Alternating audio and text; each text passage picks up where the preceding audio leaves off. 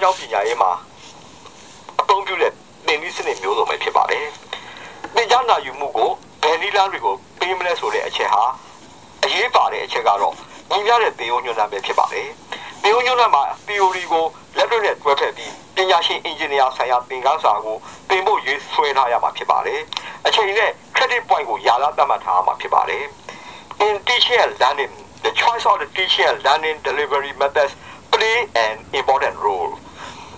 the curriculum must be balanced curriculum which shall integrate the theory and practice through the education exposure to laboratory work and the professional engineering. It needs to contain the appropriate time allocation and appropriate credit points. ပထမဆုံးပေယူလေးလာခြင်းရဲ့အတစ်အသိပဲကိုဖွင့်ဆိုရမှာဖြစ်ပါတယ်။ပေယူလေးလာခြင်းဆိုတာကတော့စိတ်ပိုင်းမှာဖြစ်ပေါ်တဲ့ဒီလာစဉ်ဖြစ်ပြီးဘဟုတုကတိုးတက်လာတာ အရေးချင်းကျွမ်းကျင်မှုတိုးတက်လာတာကိုခံယူချက်ပြောင်းလဲမှုကိုဖြစ်ပေါ်စေပါတယ်။ First of all, what is a learning? Learning is a personal process which occurs internally. Learning can involve growth of the knowledge, development of skills, and the change of the attitudes.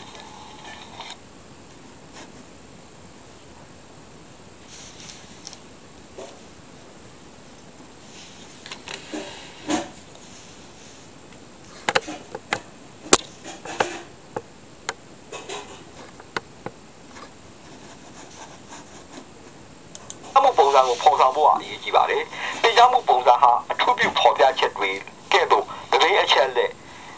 ကိုရယူဖို့စိတ်ဆန္ဒကိုဖြစ်ပေါ်စေပါတယ်။တရားမှုပုံစံတစ်ခုအနေနဲ့နားလည်မှုကိုရှေ့တန်းတင်ရမယ်။အဲ့ဒီလိုမဟုတ်ရင်ခြုံငုံသုံးရလို့မရတဲ့အသေးစိတ်နဲ့မဆက်သွယ်တဲ့ပြဿနာတွေဖြစ်ပေါ်စေပါတယ်။တရားမှုပုံစံတွေဟာဖွဲ့စည်းပုံနဲ့အထိပ္ပယ်ကိုဖော်ဆောင်စေပါတယ်။တရားမှုပုံစံတွေဟာတရားသူတို့ကိုပြဿနာဆက်နွယ်ချက်တွေကို ပြတာထင်မြင်လာစေပါတယ်။အဲ့ဒီပြဿနာကိုတစ်ခုချင်းစီမံခန့်ခွဲလို့ရတဲ့အစိပ်ပိုင်းတွေအထိခွဲခြားစိတ်ပြနိုင်သလိုပင်ယူလေ့လာမှုမှာလည်းအင်မတန်အသုံးဝင်စေမှာဖြစ်ပါတယ်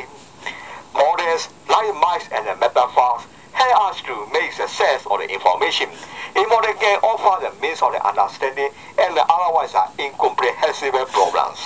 Model can provide the structure and the meaning. They can often help us to visualize the concept of problems, break it down into a discrete and manageable parts. As such, models are very useful in learning. သင်ယူမှုကိုစီမံဆောင်ရွက်ပေးခြင်းအခုနည်းပညာထွန်းကားတဲ့ခင်မှာသင်ယူလူတို့ဟာကွန်ပျူတာ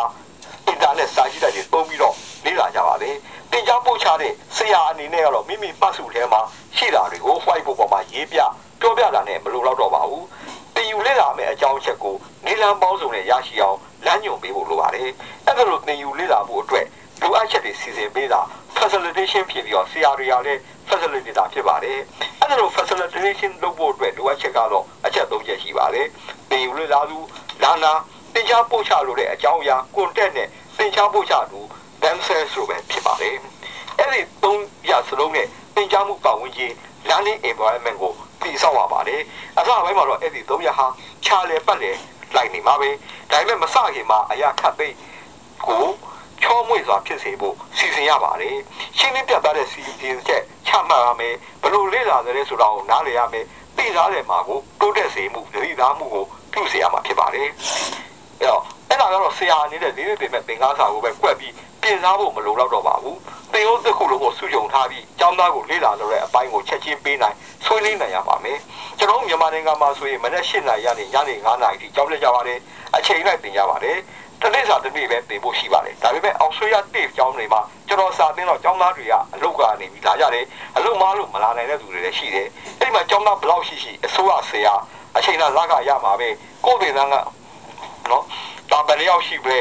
ကိုယ်ပင်သားလည်းနောက်နေ့မှာရှိနေပါပဲအော်ဆွေးရမှာကျောင်းသားကမတက်တော့လို့ပြင်သားရလက်ရရေးဆရာတွေကအလုပ်ပြုတ်မယ်ဒါကြောင့်ကျောင်းသားကိုနီလန်းပေါင်းစုံနဲ့တင်ဖို့လုပ်ကြရတယ်ကိုယ်တိုင်မတက်နိုင်ဘူးလို့ online internet ကနေပြီး download လုပ်ဖို့အချိန်မပေးနိုင်လို့သူတို့ကို USB ယူလာပေးပြီးတော့နော်ယူလာခိုင်းပြီးတော့ကူးပေးရတယ် အဲ့လိုလုပ်ဖို့အတွက်ဘာလို့တဲ့ကျောင်းသား10ယောက်ရှိတာတယောက်ကိုဒေးဝါသင်္ကားစာရှိတယ်နောက်တစ်ယောက်ကတော့ဒေးလူသင်္ကားစာရှိတယ်တူးတဲ့လူမတူကြတော့သင်တဲ့ဆရာအနေနဲ့ကဒီနေ့ပါသင်ရမလဲဆိုတော့ကွက်ပင်လို့မရတော့ဘူးသင်တဲ့စာတစ်ခုလုံးကို online DVD video audio powerpoint စတဲ့နဲ့ပြင်ထားပြီးတော့လိုရတဲ့အချိန်မှာလိုလိုလိုပေးနိုင်အောင်စီစဉ်ရပါတယ်ဒါဒါအပြင်ကိုယ်နေရ electrical machine တင်တာပဲ structure တင်တာပဲ electronics လို့ estimate လို့ကကိုယ်နဲ့မဆိုင်ဘူးလို့လည်းဒီလိုမရတော့ပါဘူးကိုက theory of the structure တင်လို့ပဲတင်တဲ့ကျောင်းသားကတော့ estimation တင်ရတယ်ဆိုရင်ဘယ်လိုလုပ်မလဲသင်မဲ့ကျောင်းသားတူဦးချီကိုသူတို့ကိုနော်တို့ချင်တာကိုကသင်ပေးရမှာဖြစ်ပါလေဒါကြောင့်မလို့လဲနော် industrial နိုင်ငံတွေမှာဆိုရင်သင်တဲ့ဆရာတွေကဆိုရင်အစရရရအလေကိုအစင်အနည်းအစင်သင်ဖြစ်အောင်သင်ထားဖို့လိုအပ်ပါတယ် Now that we are talking about the facilitation, when it comes to the facilitating learning, there are three things. The facilitator need to manage the learner, the context, and the themselves. These need to be considered separately and collectively and managed in the context of the learning environment. In the beginning, it can feel a bit like running a three lanes of circus. As you can imagine, undertaking such a process also requires considerable preparation to make sure that everything goes smoothly. And with a clear plan and understanding of how people learn and increase awareness of the part you play, and you will be well on the way to being a success. အခုသင်ပြတဲ့ပုံကတော့လေ့လာသင်ယူသင်ကြားတဲ့အကြောင်းအရာနဲ့သင်ယူဖို့ကဏ္ဍကိုစီစဉ်ပေးတဲ့ဆရာတို့နဲ့အဲ့ဒါတွေဆက်ဆက်မှုပဲဖြစ်ပါတယ် This is a relationship among the learner context and the facilitator within the learning context တဲ့ anthropological စာ model of learning ရအောင်ပြောမှာဖြစ်ပါတယ်အဲ့ဒါမှဆိုတာကတော့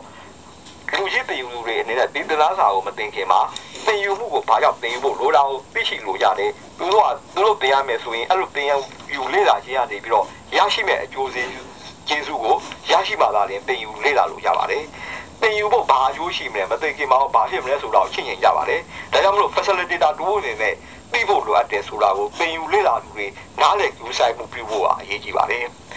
Knowledge are anthropological model of learning the need to know that adult needs to know why they are learning something before undertaking to learn it. When the adults undertake to learn something on their own, they invest a considerable amount of energy determining the benefits that they will gain from the learning it and the negative consequences of not learning it. Consequently, one of the first tasks of the facilitator of the learning is to help the learners to become aware of the needs to know. ပဲတင်ယူလို့လူတွေကတော့ဘာလို့အတွေ့အကြုံတွေရှိကြပါလဲလူကြီးတိုင်းတင်ယူလို့ဟာဆိုရင်ဘဝအတွေ့အကြုံတွေရှိကြပါတယ်အဲ့ဒီရှိလာတဲ့အတွေ့အကြုံတွေကိုလေ့လာပြီးတော့မှစီစဉ်ညွှန်ကြားလူတွေရဆိုရင်အဲ့ဒီအတွေ့အကြုံတင်ကြားမှုမှာအသုံးချနိုင်ရပါမယ်အုပ်စုလိုက်ရှင်းလင်းဆွေးနွေးတာတကယ်ဖြစ်ရကိုပုံစံလိုပြုလုပ်ပြီးတော့ဆောင်ရွက်တာပုံစံပြဿနာကိုရှင်းလင်းတာကိစ္စတွေကိုလေ့လာတာတခြားတုံ့ပြန်နိုင်မဲ့ဒီပြူဟာတွေသုံးပြီးတော့စီစဉ်ရပါတယ်အဲ့ဒါလိုပြည့်ဝတဲ့အကြောင်းအရာဟာဆိုရင်တခါတလေတော့လေတင်ကြား မှုကိုအတူမှုဖြစ်စေပါတယ်ကျွန်တော်အဲ့လိုမှဘယ်လိုဒီလိုလုပ်တာပဲခင်ဗျားကတော့ဟိုလိုလုပ်တယ်လို့ပြောတယ်ဟုတ်ရောဟုတ်ရဲ့လားအဲ့ဒါမျိုးတွေလည်းကြုံတွေ့ရနိုင်ပါတယ်ဒါကြောင့်မလို့သင်ယူမျိုးတို့ဟာအနေထားကိုလိုက်ပြီးတော့တင်ကြောင်းမှု strategy ကိုလည်းပြောင်းလဲပြင်လဲဖြစ်အောင်ပြုရပါတယ်ကျွန်တော်တို့ကြောင့်ကကျွန်တော်ဝါယာရိုးတွေ့တယ်အဲအဲ့ဒီမှာ 240ဖို့ခန်းတဲ့ A လို့တရားစင်စနစ်ကိုကျွန်တော်သင်ပါတယ်ကျွန်တော်စီကို security အလားနေတဲ့ကျောင်းသားအုပ်စုတို့ဆိုပါဆိုရင် head teacher တွေတာဝန်ပြုလို့ကျွန်တော်ဝါရင်းစတယ်အဲ့ဒီမှာကျွန်တော်ကပြင်ဖို့ပြင်ထားတာအိမ်လုံးထက်စစ်240ဖို့သူတို့ပြောတာငါတို့လို့မှသုံးတာတွဲဖို့အလားတွေပဲပတ်တယ်မင်းတင်တာငါအောင်နဲ့မအဆက်ဘူးလို့ပြောပါတယ်ဒါကြောင့်မလို့ပထမနေ့မှာတော့သူတို့တခြားဝါရုပ်ဆက်တဲ့လက်တွေ့တစ်ခုပဲလုပ်ခိုင်း theory သင်ခန်းစာမသင်မဲ့ပြန်လွတ်ပြီးတော့ညသွင်းချင်းသူတို့သင်လို့တဲ့ security အလန်းဝါတွေကို internet စာကြည့်တိုက်တွေကနေချက်ချင်းရှာဖွေပြင်ဆင်ပြီးနောက်ချိန်မှာချက်ချင်းပြောင်းသင်ရပါတယ်အဲ့ဒါလက်နာအတွေ့အကြုံပေါ်မူတည်ပြီးတော့တရားမှုပုံစံကိုချက်ချင်းပြောင်းရတဲ့အတွေ့အကြုံပဲဖြစ်ပါတယ် the role of the learner experience adults have a variety of the life experience that represent the resource for the learning to capitalize on the adult learner's experience facilitators can use the techniques that tap into these group discussion storytelling simulation exercises problem solving activities, case studies, and other interactive strategies. While the richness of the experience is a valuable resource for the learning, can also present some challenges, as the experiences can be filled with the bias and the presupposition which may impact on our perception.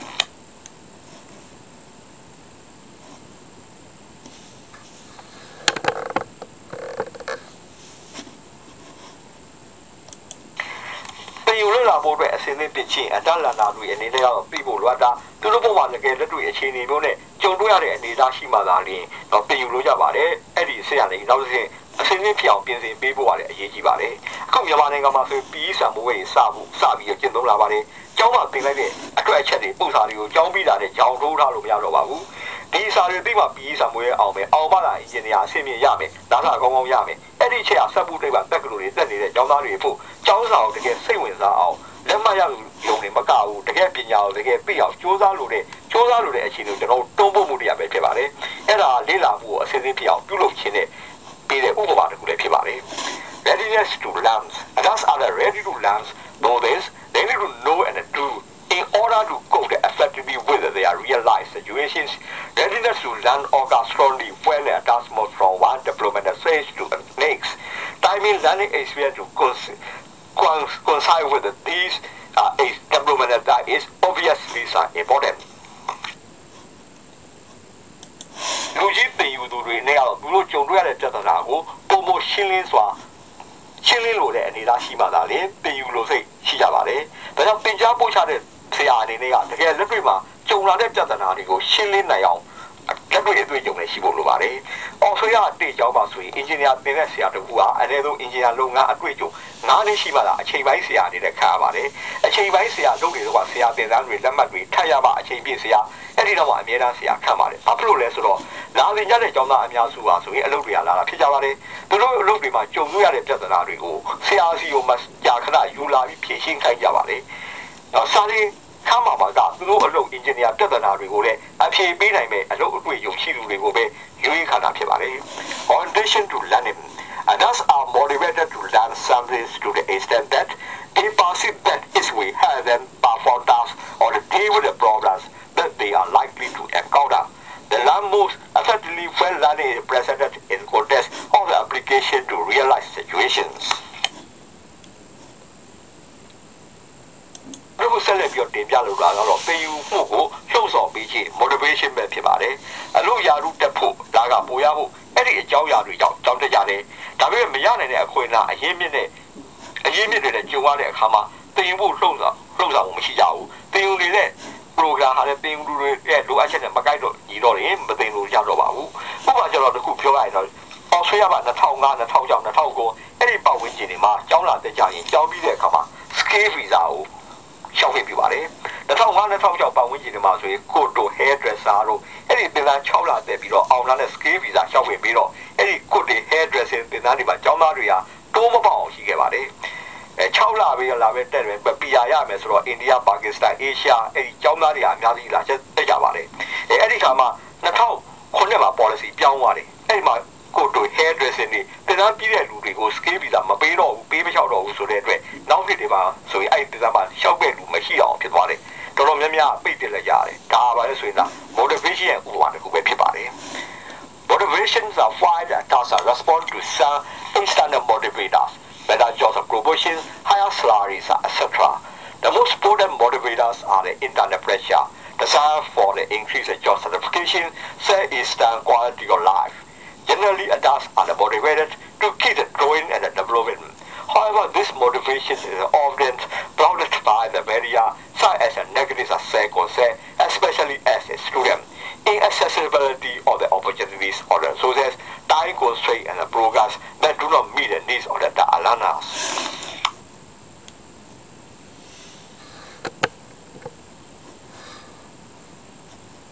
Now သင်နည်းတွေရှိပါတယ် active participation လို့ခေါ်တဲ့အလုပ်လုပ်စေပြီးတော့လက်တွေ့လုပ်စေပြီးတော့သင်ကြားမှု meaningful and relevant လို့ခေါ်တဲ့သင်ကြားတဲ့အခါမှာဆိုရင်အသုံးပြုတဲ့ထောက်ကူပစ္စည်းတွေမှတ်စုတွေဟာသင်ကြားတဲ့ခေါင်းစဉ်အကြောင်းအရာနဲ့လိုက်ရောညီတွေဖြစ်ဖို့ holistic learning လို့ခေါ်တဲ့တစ်ခုလုံးကိုစုကြုံပြီးအရင်ပြောပြပြီးတော့မှအစိတ်ပိုင်းတစ်ခွဲတစ်ခုချင်းစီကိုအသေးစိတ်တစ်ခုစီကိုရှင်းလင်းပြောရမယ်ဥပမာအခုတင်စားမှာကျွန်တော်ပေးထားတဲ့ course outline ရဆိုရင် program တစ်ခုလုံးကိုစုကြုံတင်ပြထားပါဖြစ်ပါတယ် အဲအဲ့ဒါစုကြုံတဲ့အချက်ကနေပြီးတော့မှနေ့လိုက် session လိုက်အသေးစိတ်တစ်ခုချင်းစီကိုတင်ပြတာဖြစ်ပါတယ်။ရမှုကျွန်တော်ကဆို holistic learning ကိုအလုံးပြုခြင်းပြီးတော့အခုသင်တန်းကိုပို့ချနေတာဖြစ်ပါတယ်။ So the active participations are adult learn the best when they actively participate. That is uh, when they are involved physically, intellectually, and emotionally. Adults learn best by doing. Meaningful and relevant. How does it to relate to me, and that means to be able to relate to the materials, to identify the meaning and the relevance of the materials to them and their situation. Holistic learning uh, does like to know where this material fits in relation to the whole, starting with the big picture, then dropping down into the specific details, provides the context for the materials.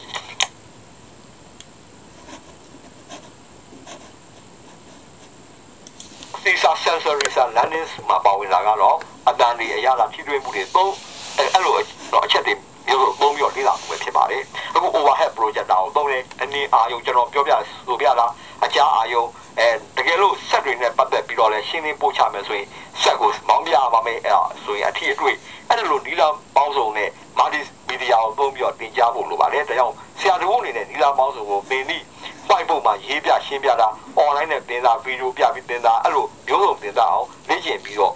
ထားဖို့လိုအပ်ပါတယ် Multi sensories are learning we have the five sense five limit learnings to oneself instead of using the range of the sense like sound, taste, smell, and touch. Using two or the three sense in the learning experience increase the learner's capacity to understand and to retain the materials.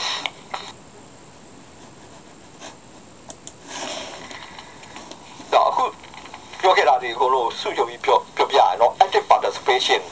ကိုယ်တိုင်ပါဝင်လေ့လာမှုမှာလက်တွေ့အလုပ်ကိုလုပ်ပြီးတော့အခြေခံပြီးတော့တင်ယူလေ့လာတာ meaningful relevant မှာသင်ကြားမဲ့သင်ယူညွှန်းတမ်းတဲ့အထောက်အကူပစ္စည်းတွေကိုပြင်ဆင်တာ holistic learning မှာသင်ယူလူတို့ရဲ့ရွယ်ချက်ကိုသင်ယူရွယ်ချက်တွေနဲ့ဆက်စပ်ပေးတာသင်ကြားတဲ့ကျောင်းသားတွေ unit တွေနဲ့အသေးစိတ်အစီအစဉ်တွေ multi sensory learning မှာတော့ electronics နဲ့ပုံပြီးတော့သင်တန်းဘယ်လိုချင်းဆိုင်သင်တာပညာရေးနဲ့ပတ်သက်တဲ့ multi media တွေပုံပြီးသင်တာတွေပါဝင်ပါတယ် So the in this uh, slide, so I will summarize uh, at the participation in the planning, holistic learning related to the career objective links to the outcome and the objectives of the course, subject units and the details and contents and plans, multi-sensory learning include the e-learning, face-to-face, edu- and the using of the educational multimedia.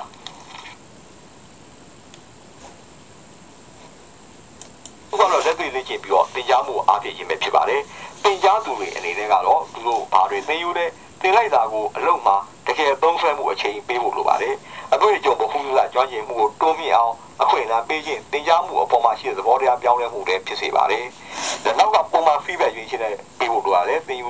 တွေနဲ့ကသူတို့ဘယ်လောက်ကောင်းကောင်းလုပ်တယ်ဆိုတာကိုသိလို့ရတယ်။ဒါကြောင့်မှန်မှန် feedback ပေးရမယ်။ feedback ကိုစောစီးစွာပေးခြင်းဖြင့်သင်ယူလူတွေသူတို့သုံးဆွဲတဲ့ဒီလားတွေမမှန်ရင်လည်းမြန်မြန်ပြင်နိုင်မယ်။ feedback ပေးတဲ့အခါမှာလည်းပဲအပြုသဘောဆောင်တဲ့ feedback ကိုပေးဖို့လိုပါတယ်အဲ feedback ပေးတဲ့အစမှာဆိုရင်ပြုမှုမှုကိုဥပဒေမရမဲလူပုဂ္ဂိုလ်တစ်ခုချင်းစီရောဥပဒေ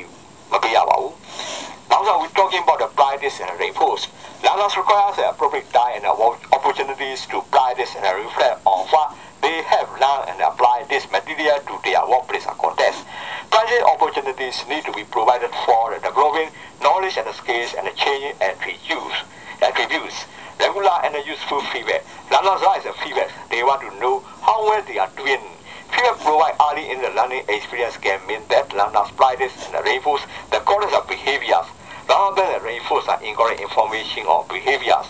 Feedback needs to be provided in a positive and a constructive manner. When providing feedback, concentrate on the action, on the behavior, and not on the person. ပေးတာ အပင်လို့အနေနဲ့ကသင်ရပါတယ်အတွေ့အကြုံများစွာတွေတုံ့ပြန်မှုအမျိုးမျိုးတွေတုံ့ကြုံတွေ့ရပါတယ်အဲ့ဒီအတွေ့အကြုံတွေကလည်းတန်ဖိုးထားကြပါတယ်အဲ့ဒီအတွေ့အကြုံအကြုံကောင်းတွေကလည်းစစ်တော့ထပ်ဆင့်ပြီးတော့မှလေးလာလိုချင်စိတ်တွေပိုတက်ကြွလာကြပါလေရမို့ရီဘတ်ပေးတာအမှတ်ပေးတာအပြုဘောပြောတာတင်ပြမှုရှင်းလင်းမှုကောင်းတယ်လို့ချီးမှုပေးတာတွေပြုချင်းအပြင်စိုက်ထုတ်လိုက်တဲ့စွမ်းအင်တွေဟာဆရာလိုလားမှုပြုတယ်ဆိုတာကိုကျောင်းသားသိလာမယ်အဲ့ဒီဟာစပြီးတော့ကျောင်းသားတွေကတက်ကြွအောင်လှုံ့ဆော်မှုလည်းပြုတာဖြစ်ပါတယ် Learner respond differently to the learning experience. Yet they will need to be able to identify the benefits and the value of the experience. Evaluate as a reward for the work. Learner have done and have motivate fathers are learning. Sunrise is also valuable to the provided external recognition and reward. It's very motivating to be to you have done well and your efforts are recognized and appreciated. ဘာလို့ behavior စာ learning theory ပဲဖြစ်ပါတယ် behavior စာ learning theory ကတော့သဘောသဘာဝကိုပေါ်ဆောင်တဲ့သင်ယူခြင်းပဲဖြစ်ပါတယ်သင်ယူလေ့လာသူတွေရဲ့အနေအထားပေါ်မူတည်ပြီးတော့သင်ကြားမှုအနေအထားကိုသိရမှာဖြစ်ပါတယ်သင်ယူသူတို့ဟာတက်ကြွတာပေါဝင်နေတော့လေ့လာသင်ကြားမှုပိုကောင်းပါတယ်လေ့လာသင်ယူနေတဲ့အခါမှာမကြာခဏလေ့ကျင့်မှုကိုပြုပေးရမယ်အပြုသဘောနဲ့အားဖြည့်ပေးရမယ်ဥဒိရေမှန်းချက်တွေကရှင်းလင်းစွာရှိဖို့လိုအပ်ပါတယ်အဲ့ဒါသင်ယူသူတို့ဟာသူတို့ရဲ့ သဘောလက္ခဏာကောင်းတွေဖြစ်လာဖို့အရေးကြီးတဲ့အချက်၄ရပ်ပဲဖြစ်ပါတယ် So the behavior learning the, the theory, the observable behavior rather than internet taught uh, truths and process are focused in particular learning shown by the change in behavior. Four key principles are considered to be important. They are Learning is better when the learner is active, not passive. Frequent practice is necessary for learning. Positive reinforcements Like rewards and success are encouraged. Objectives need to be clear, for example, performance criteria found in units on the competency.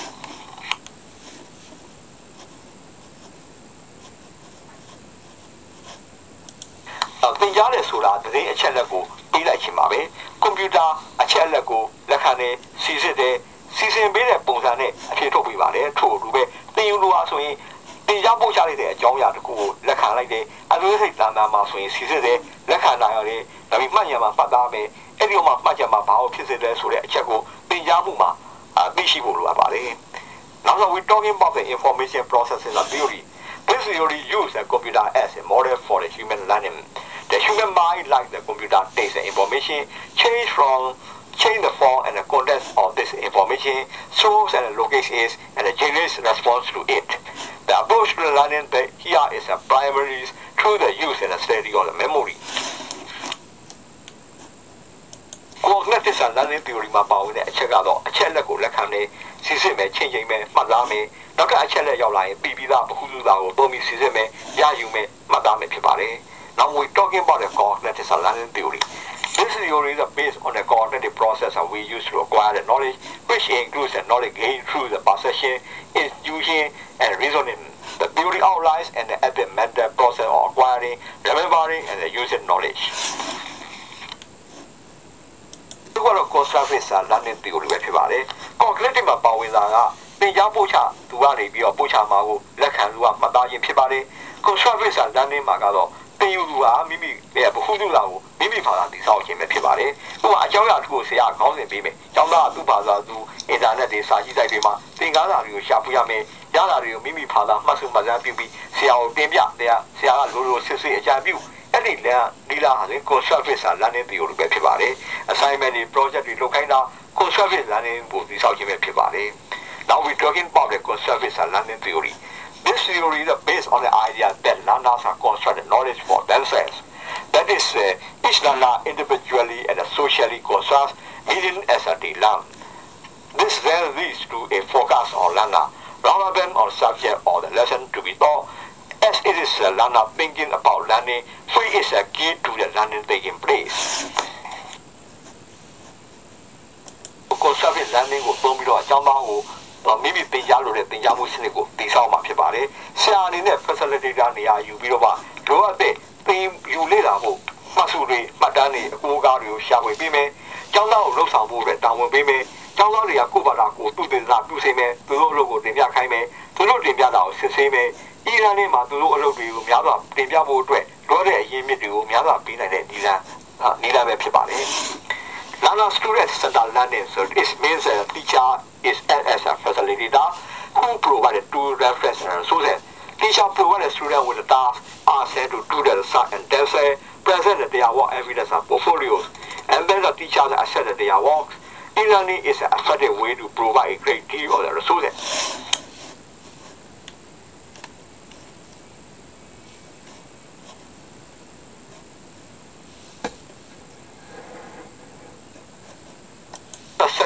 နဲ့စာ approach to learning ကတော့သင်ယူလူတွေရဲ့စုပေါင်းစေပြီးတော့တူးနဲ့တူမိတ်ဆက်ဖြစ်ပြီးတော့တို့နဲ့တင့်တော်တဲ့အချက်လက်တွေကိုပေးတာတွေစုပေါင်းလုပ်ကင်ပေးတာတွေရင်းမြစ်ဖြစ်ပါတယ်။ဒါကိုလုံးအုပ်စုလိုက်လုပ်တဲ့ဒီချိန်ကနေကိုစီစဉ်ပေးဖို့လိုပါတယ်။ situational approach to learning means this emphasis here is on the learning being the situation base there is a place in the social context like in the workplace. Learning takes place through the relationship between the people and is based on the condition that bring the people together. Allowing for the particular piece of the information to take on the relevance and the meaning.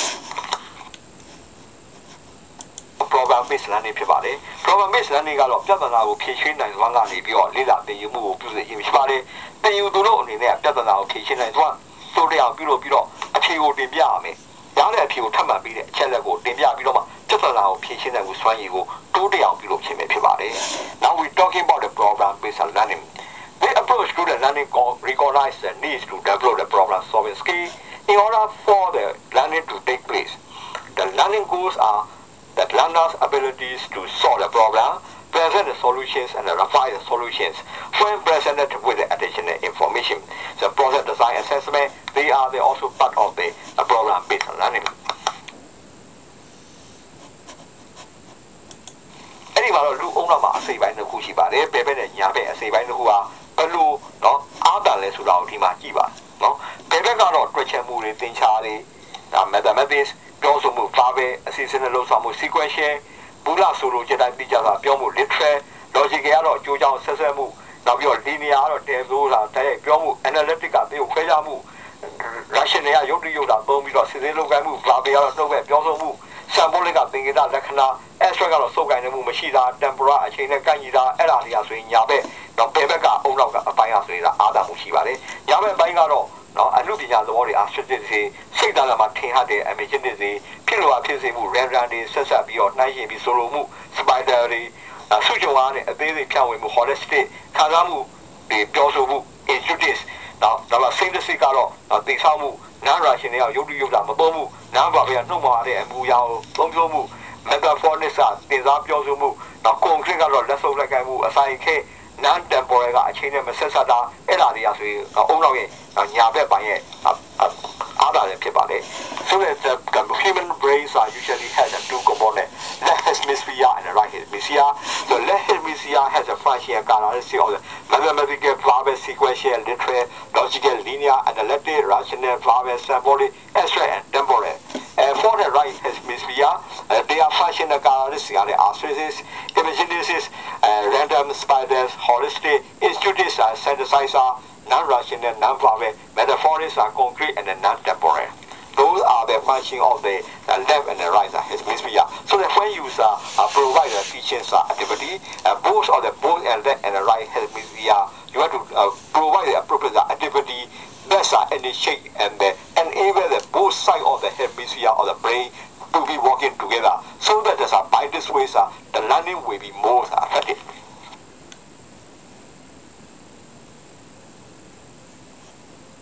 အောက်ညာဘက်ချမ်းတွေဘယ်ဘက်ချမ်းတွေအဲ့ဒါတွေရဆိုရင်လားခွဲရစိတ်စားထားရမယ်ဘယ်ဘက်ချမ်းကနေစုကြုံမှုညာဘက်ချမ်းတော့အသေးစိတ်ကနေဘယ်ဘက်ချမ်းနော်အဲ့လိုဖြစ်ရမယ်အဲ့တော့အုံနောက်ညာဘက်ချမ်းဘယ်ဘက်ချမ်းမှာဆိုရင်တော့ခွဲရတာနေရာဆိုရင်ညာဘက်ဘယ်ဘက်ချမ်းပြုလုပ်တယ်စုကြုံတာလည်းညာဘက်ချမ်းပြုလုပ်တယ်အသေးစိတ်ကဘယ်ဘက်ချမ်းပြုလုပ်တယ်ပိုကြီးတဲ့ပုံစံညာဘက်ချမ်းတော့အတိအကျဖော်ညွှန်းမှုကတော့ဘယ်ဘက်ချမ်းဆက်ဆက်မှုတွေညာဘက်ချမ်းအဆင့်လိုက်လှုပ်ဆောင်မှုကဘယ်ဘက်ချမ်းစုကြုံမှုပြုတာညာဘက်ချမ်းအစအနေပြီးတော့ဘယ်ဘက်ချမ်းမှာအဆုံးသတ်မှုအဲ့လိုပုံစံနဲ့သင်ယူခြင်းရဆိုရင်တော့အုံလိုက်နှစ်ဘက်စလုံးအလို့လို့စေပြီးတော့ပုံမထိရောက်စွာသင်ယူနိုင်မှာဖြစ်ပါတယ်သင်မှုထုံးတော့ထိရောက်ဖို့အတွက်ကတော့အုံနောက်တစ်ဘက်ချမ်းစလုံးကိုအလို့လို့စေရမှာဖြစ်ပါတယ် to make the both of the hemisphere of this uh, brain to work learning will more be effective the action in the is uh, in the table initiate the both sides of the brain to uh, working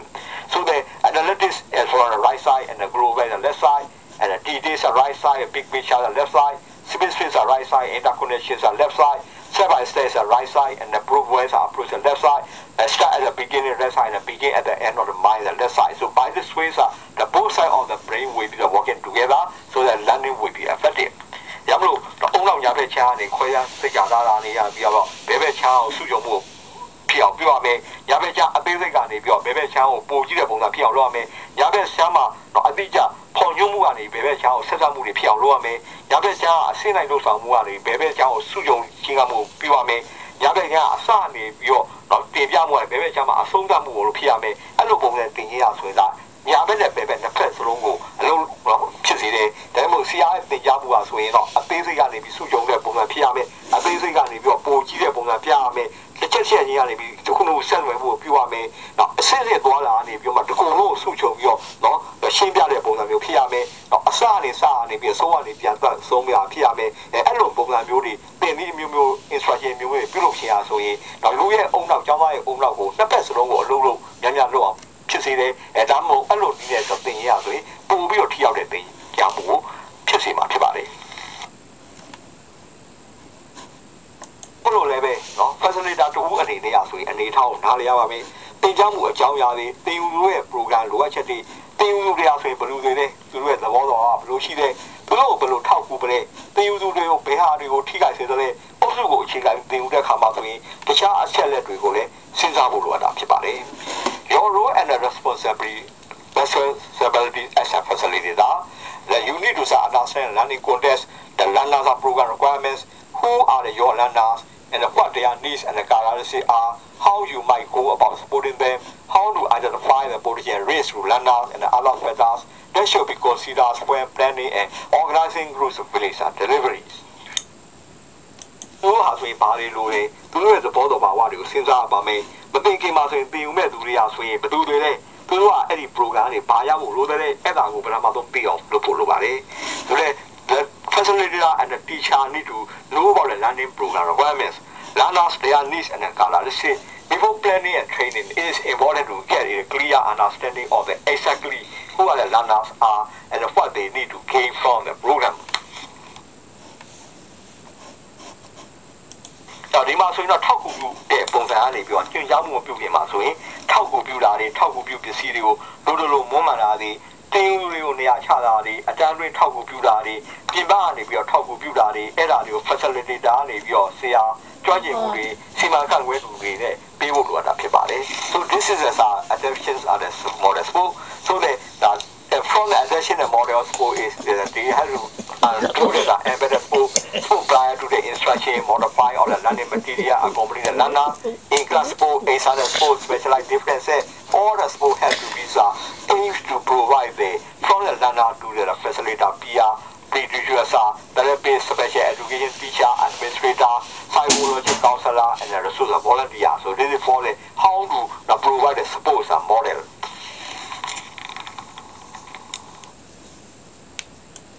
င်ကြားမှုထောက်ကူပြုတဲ့ပစ္စည်းတွေဖြစ်ပါတယ်။သင်ကြားမှုထောက်ကူပစ္စည်းကဘယ်လိုပစ္စည်းတွေလိုသလဲသင်တော်လိုသလိုပြုပြင်ဖို့လိုပါတယ်။သင်ကြားမှုပုံစံတွေရှင်းလင်းပြသမှုတွေနော်မျက်မြင်ပြသမှုတွေကိုမမှန်မဲထောက်ကူပြုပစ္စည်းတွေကိုပုံပြီးတော့ပြဖို့လိုတဲ့ပခုမှုသားကိုပေးရမယ်။အတန်းမတက်နိုင်လူတွေကိုသင်ကားစာနော်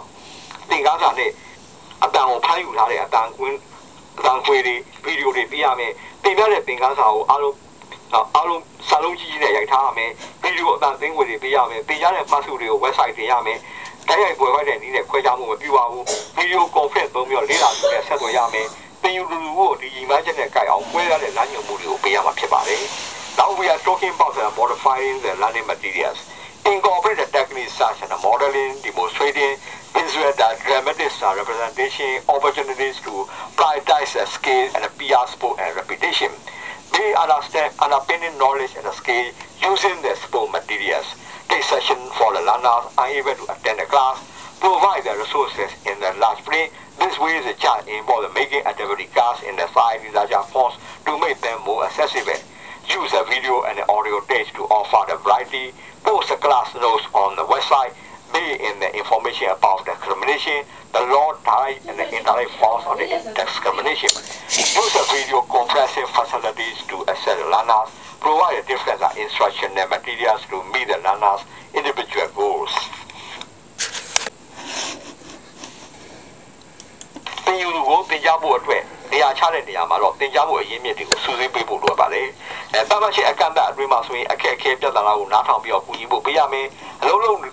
လူတွေအတွက်တက်နိုင်တဲ့အချိန်တွေစင်းကိုစီစဉ်ပေးရမယ်။စစ်ဆေးမှုလုပ်ငန်းမှုမှာတိုင်းမှာဆိုရင်သင်တော်လိုပြုပြင်ပြောင်းလဲဖို့ပြုရမယ်။ထောက်ကူပြုတဲ့ဒီပညာကိုသုံးရမယ်။သင်ယူပြီးစီးရမယ်အရေးအတွက်ကိုပြုပြင်ပြောင်းလဲပေးရမယ်။အထူးအကူအညီကိုလိုလူတွေတိုးချင်းစီထောက်ကူမှုပြုရမယ်။ သင်ယူသူကနေပြီးတော့တုံ့မဲ့ရေးသားရင်တုံ့ပြန်ပြောဆိုမှုဒီလန်းတွေကိုမွမ်းမံပေးရမယ်။တယူတက်ကြောက်စွာပါဝင်နိုင်မဲ့အတိုင်းအတာကိုပြောင်းလဲပေးရမယ်။တူညီတဲ့ပစ္စည်းတစ်ခုကိုသုံးပြီးတော့ရလဒ်ကိုချိန်ညှိပေးရမယ်။တယူလူချိကနိုင်မဲ့အလုံးနဲ့စီလော်တဲ့အရေးကြီးကျွမ်းကျင်မှုပုံစံပြဿနာတွေကိုဖြေရှင်းဖို့စီစဉ်ပေးရမှာဖြစ်ပါတယ်။ Now so I will talking about that how to accommodate the learner.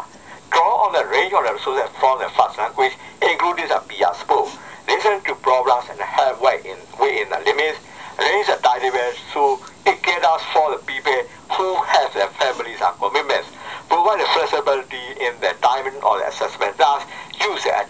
technology.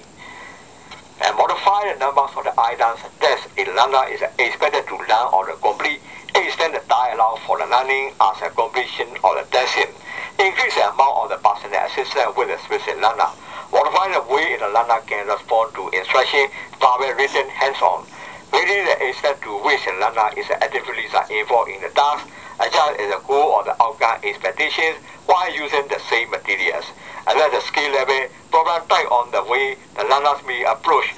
their works. ပြမထောက်ကူမှုကနေပြီးတော့ရုပ်ပိုင်းဆိုင်ရာဆက်သွယ်မှုတွေအဲထောက်ကူပေးရမှာဖြစ်ပါတယ်။တင်ယူလို့ရဆိုစီစဉ်ပေးတာတွေသူ့ဌာနမကသူတို့ချင်းချင်းနဲ့ဆရာထိုင်ရတာမက နော်သူတို့ချင်းချင်းလေ့လာဖို့စီစဉ်ပေးရမယ်အုပ်စုချင်းဆွေးနွေးတာတွေ tutorial session တွေကိုလည်းစီစဉ်ပေးရမှာဖြစ်ပါတယ်အဲသင်ယူလူတွေဆက်သွယ်မှုမှာလည်းသူတို့အချင်းချင်းလိုက်လာမယ်စီကံချက်တွေချမှတ်ပေးရပါမယ်သင်ယူလူတွေကိုလမ်းညွှန်မှုတွေလုံဆောင်မှုတွေအတွက်ဥပဒေချက်တွေရှိစေရမယ်ကြားမှာကွဲပြားမှုအရေးချင်းကွဲပြားမှုတွေရှိသလိုအဲ့ဒါတွေအတွက်လက်ရောညီထွေမဲ့လုပ်ငန်းစဉ်တွေချမှတ်ပေးရပါမယ်ခွဲခြားမှုတွေကိုလည်းကြုံတွေ့ရရင်လည်းပဲရေးဆိုင်ပြင်ရှင်းမှုလိုမလိုတည်ယူမှုကိုထိခိုက်စေမဲ့နောက်ချက်တွေကိုလည်း သိအောင်ပြုပြီးတော့မှကာဝယ်ပေးဖို့လိုအပ်ပါဖြစ်ပါလေ So now we're talking about the how to provide in the gospel. The, the teacher need to ensure appropriate physical and the communication supports are available, incorporate the inclusiveness a strategy so that the learner learn from each other, not just a facilitator. For example, the group session, peer tutoring, cooperative learning, and reciprocal teaching. Teacher need to introduce the indigenous protocols into learning relationships, get the learners to provide instruction and directions for activities. The teacher need to pay in the activities in which the learner and you as a facilitator think about the values and the beliefs that they have with regard to the diversity, including gender. These are need to challenge the subtext of all or the discrimination you witness within the practice environment. So teacher also need to identify the race.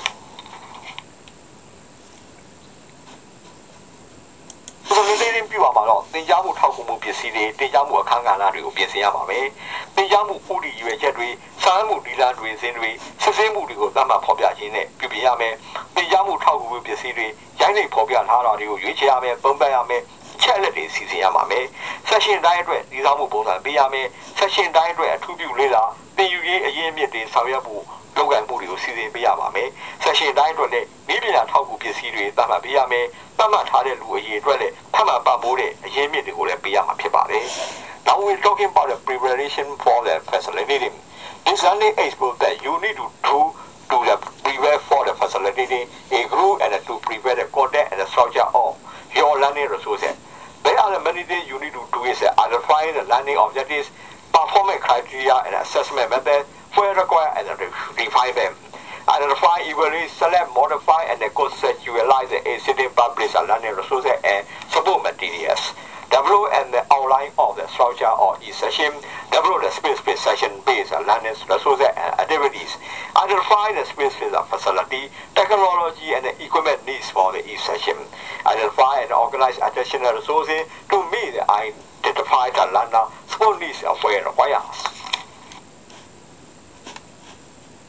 ပို့ချဖို့အတွက်ကတော့ session plan ကိုစီစဉ်ပေးရမှာဖြစ်ပါတယ်။သင်ကြားဖို့ရွေးချက်နဲ့အစားပြောရမယ်။အဲ့လိုသင်ကြားမှုပုံစံပြုခြင်းအပြင် presentation ကိုထိရောက်စွာပြုနိုင်ရမှာဖြစ်ပါတယ်။လိုအပ်တဲ့သတင်းအချက်အလက်တွေကိုသိဆောင်ရမယ်။အရင်းမြစ်တွေထုတ်ဖော်ပြသရမယ်။သင်ယူလိုလိုအပ်တဲ့အရေးအခွင့်အရေးတွေပေးရမယ်။သင်ရတဲ့အစီအစဉ်တိုင်းမှာအစီအစဉ်လေးရကတခုရင်းစီအတွက်ပေးရမယ်အချိန်တိုးချင်းအုပ်စုလိုက်ရယူရမယ်ဥတီရွေးချက်တွေကိုချမှတ်ပေးဖို့လိုအပ်ပါတယ်။ Now we talking about the delivery plan. A delivery plan is sometimes referred to as a session plan. It could cover a series of sessions.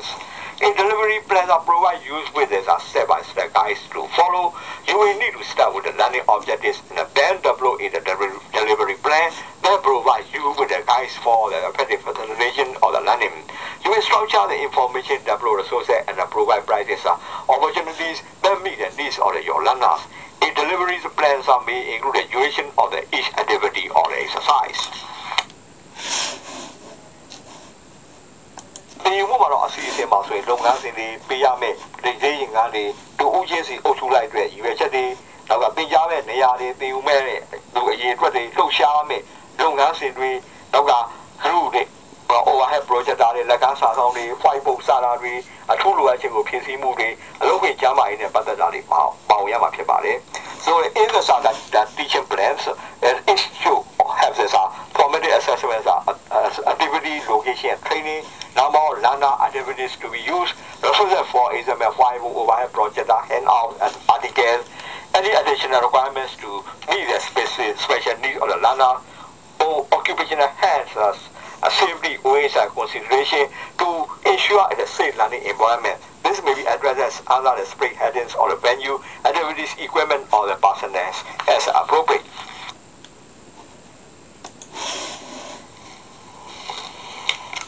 နောက်တစ်ခုကတော့ learning objective ပဲဖြစ်ပါတယ်သင်ယူဖို့အတွက်ကဆိုရည်ရွယ်ချက်ပဲဖြစ်ပါတယ်သင်ကြား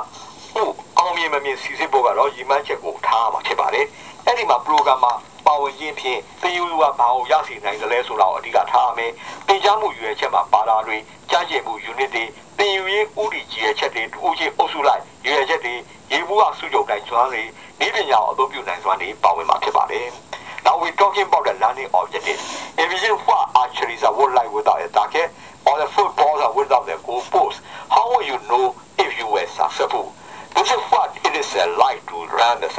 without planning and documenting learning objectives. How will you know where you, you were going? How will you know if you had succeeded? Learning objectives uh, state that what the learner is to learn as a result of the participating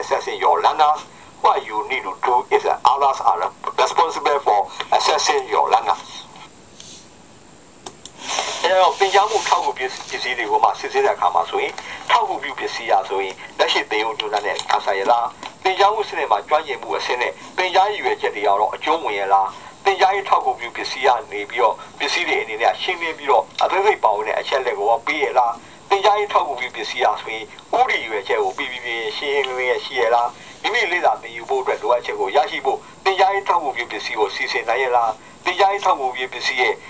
ညီမျှစွာရရှိမှုပြီးစေနိုင်ရလားတင်ကြားရေး နဲ့စစ်ဆေးမှုရောထောက်ကူပြီးပစ္စည်းဟာလက်ရောညီတွေပြည်ပြင်ပြောင်းလဲတာပြောင်းလဲလွယ်တာဖြစ်ရလားတင်ရုပ်ကိုရွေးချယ်လိုက်တဲ့အခါမှာလည်းပဲတင်ကြားတဲ့နာယီနဲ့ဈေးစကားရောကြောင်းကျိုးမျှတရလားအဲ accreditation ပေးတဲ့အဖွဲ့အစည်းရဟောတင်ကြားရေးထောက်ကူပြီးပစ္စည်းကိုအပိမှပြုရလားလေ့လာတင်ကြားရေးကိုလိုအပ်ချက်နဲ့အကျုံးဝင်လားဆိုတာတွေကိုလည်းစစ်ဆေးဖို့လိုအပ်ပါတယ် Now we talking about the challenge for the selectors are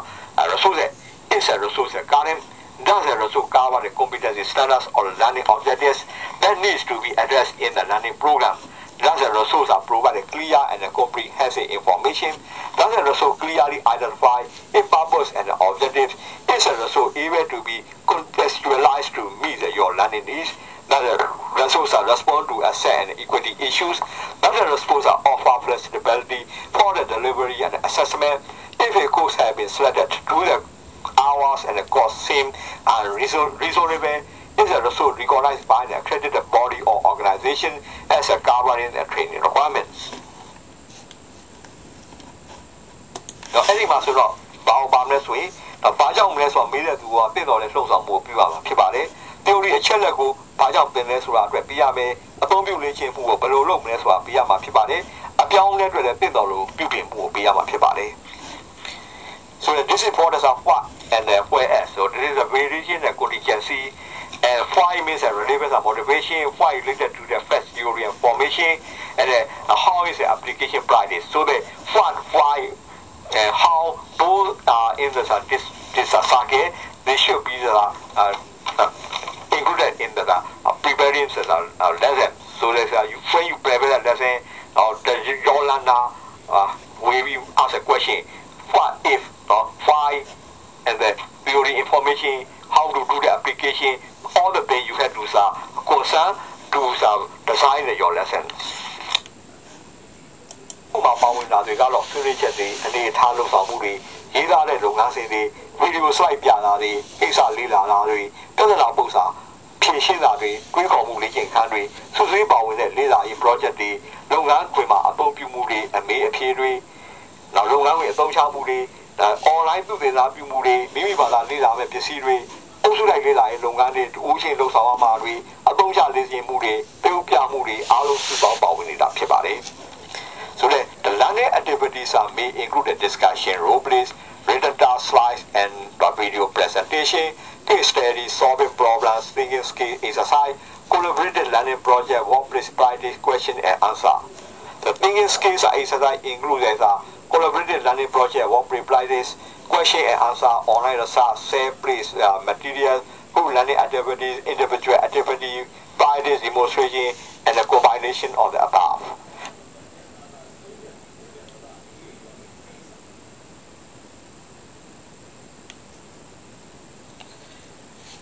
အဲ့တော့အခုနဲ့ပတ်သက်ပြီးတော့ပြောလိုက်တာလေးနဲ့ပတ်သက်ပြီးတော့လည်းထပ်ပြီးတော့လေ့လာရမယ်ဟောအ ခန်းကဏ္ဍကြီးကျွန်တော်တင်ပြထားတာဖြစ်ပါတယ်ဒီအဲ့တော့ဒီ file နေရာဆိုရင်ထပ်ပြီးတော့အသေးစိတ်လေ့လာဖို့အတွက်เนาะပတ်မှတ်ထားတဲ့ file တွေဖြစ်ပါတယ် regarding some uh, extension to the my presentation i also provide the uh, list of the resources that you can uh, do the further uh, reading and studies so those are the list of the further readings uh, uh, study materials